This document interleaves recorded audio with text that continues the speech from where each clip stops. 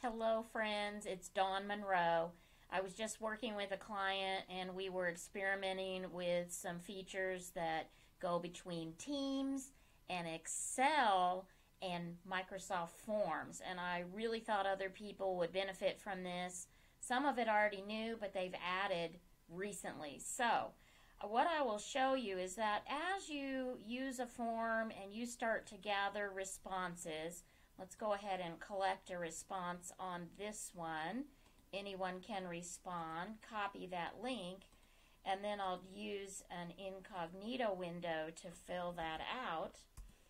Let's go ahead and say we want to do pivot tables. So there we get a form response.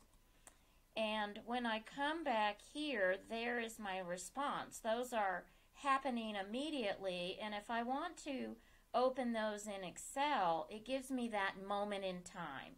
So whatever responses have come into that point, I can open in Excel and there I can launch and see those responses.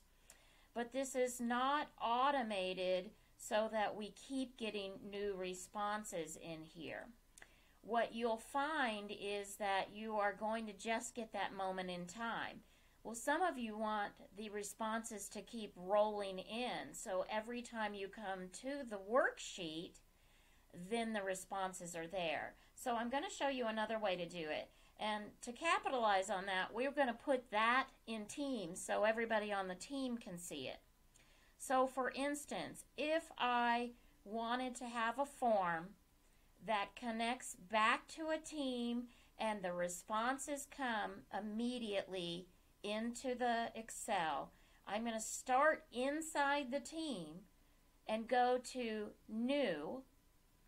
You can start with an Excel workbook. That's one way to do it. But look, they added in forms for Excel.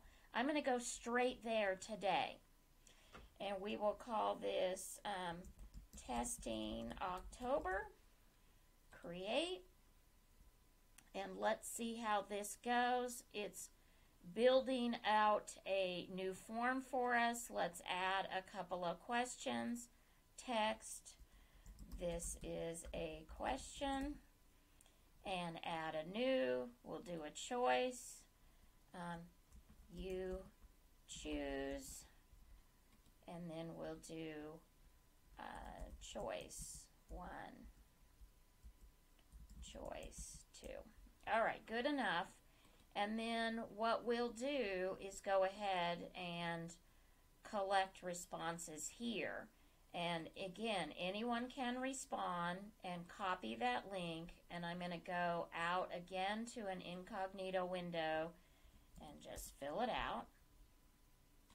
Uh, sample and choice two.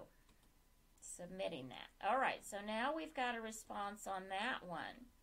So this time you can um, see that this is it's going to get stored right in our team. Let's open that in Excel. This is placing it within our team because that's where we started and started the file and this is going to be amazing. It's going to keep populating those as we do them. Now I've got those two forms open. Let's do the test again. So the sample form, submit another response. This was the first one we did that was not linked. Not linked. Submit. Okay. And then let's do the other incognito form, testing October. This one we linked up to the team with the automatic responses. Submit another response. Um, going live. Choice here. Submit. Okay, now let's go see what's happening. Okay, there we go. We've got um, there are the responses coming in live, and this is part of this team. Okay, let's go look at the first one. We've got responses there. This is um, we can uh, open it in Excel, but I don't think, unless they've changed it, this is going to be testing October. Oh, I opened the same one again. Hang on. there we go. Sample form.